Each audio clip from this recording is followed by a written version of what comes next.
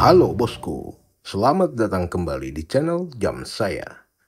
Baik, pada video kali ini kita akan review dan membahas satu jam tangan yang build quality-nya oke okay, dengan harga yang terjangkau dari merek Expedition Timepiece. Spesialisasi brand Expedition tentu saja sebagai produsen jam tangan yang mengklaim produknya sebagai professional adventure equipment timekeeping. Sebagai jam tangan dengan desain macho, maskulin, dan cocok sebagai pilihan untuk jam tangan outdoor. Dan item kali ini yang akan kita bahas dari Expedition adalah tipe dengan nomor reference E666 yang merupakan sebuah jam tangan analog quartz dengan model pilot terlihat jelas pada dial face yang ikonik dengan mengandalkan fitur utama small second pada dial. Bagian pertama, kita akan melihat dari kemasan jam tangan Expedition yang selalu standar dan memang akan memukau para penggemarnya. Menggunakan kotak kayu dengan warna merah memberikan gairah untuk membuka jam tangan ini dengan segera.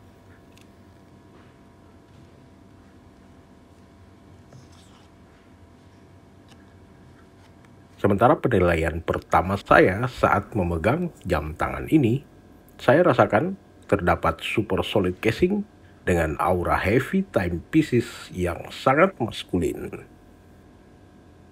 Sedangkan yang kedua adalah penilaian saya dari segi harga. Item ini termasuk yang terjangkau, dibanderol di pasaran di angka 700 ribuan, dan Anda sudah mendapatkan jam tangan dengan look outdoors yang sangat solid, belum lagi ciri khas menggunakan strap kulit Expedition yang selalu menggunakan bahan premium dan yang termasuk kokoh. Secara tampilan, overall jam tangan ini berkonsep model index pilot. Saya akuin tipe Expedition kali ini cukup maco dengan dial berwarna hitam ornamen khas index numeral yang cukup simple serta diberikan fitur small second. Sementara jam tangan analog ini menggunakan mesin dengan tenaga baterai yang merupakan movement buatan Jepang dari merek Miyota pada nomor kaliber 1L45 yang memang fiturnya terdapat dua hands plus satu small second hands. Mesin ini terkenal akurat dengan perawatan yang sangat mudah.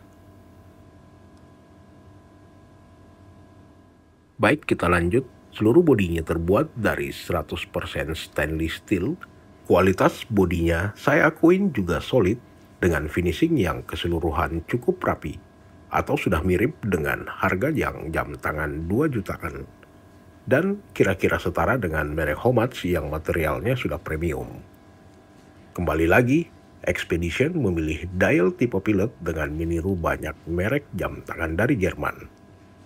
Sementara Pemilihan menggunakan fitur small second memang cukup cerdas, walaupun tetap menggunakan mesin quartz, jadi pergerakan jarum detik yang pendek tidak terlalu mengganggu tampilan dial dibandingkan menggunakan jarum detik yang panjang di kebanyakan jam tangan quartz.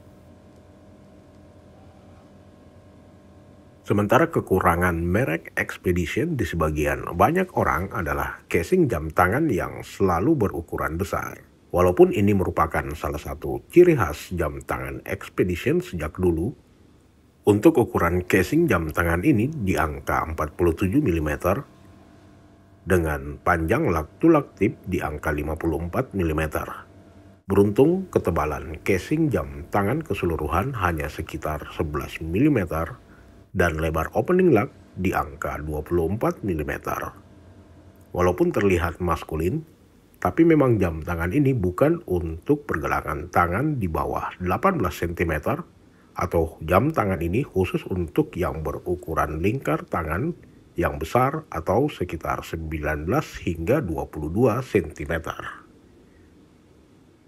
Baik kita lanjut di atas dial, kaca yang digunakan adalah mineral kristal yang bening dengan permukaan flat serta sudah tahan anti goresan. Pada dial luminos hanya terdapat pada jarum jam dan jarum menit, padahal saya sudah berharap setiap indeks terdapat luminos sehingga akan sangat menarik untuk visibilitas di tempat yang gelap. Ornamen dialnya juga tanpa fitur kalender. Dan untuk keseluruhan casing dapat menahan anti air di tekanan 20 hingga 50 meter atau jam tangan ini tidak cocok untuk berenang lama, apalagi jika dikenakan untuk menyelam. Selanjutnya adalah bagian yang terakhir, yaitu strap leather yang menjadi ciri khas utama dari jam tangan Expedition sejak dulu. Kualitas strap yang diberikan termasuk yang premium, hingga di setiap jahitan juga rapi, dan finishing handmade-nya selalu luar biasa.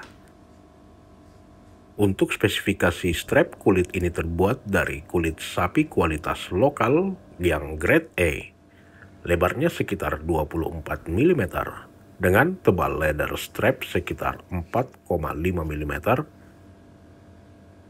Tidak lupa terdapat buckle pin pengunci yang ekstra besar yang juga terbuat dari stainless steel.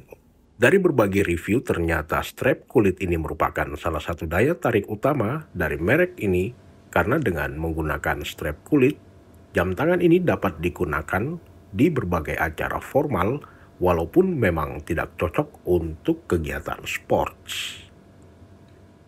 Dan sebagai kesimpulan, merek Expedition terus berusaha memberikan kesan seluruh jam tangannya yang kuat dan maskulin sebagai gear Anda untuk di kegiatan outdoor dan adventure.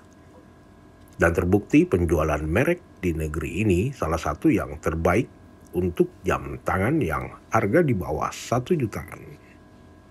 Demikian review jam tangan kali ini. Jika ada pertanyaan, silahkan tulis pada kolom komentar, like, dan share video ini ke teman kamu, dan terus dukung channel jam saya agar tidak ketinggalan review video-video terbaru setiap minggu. Thank you, bosku.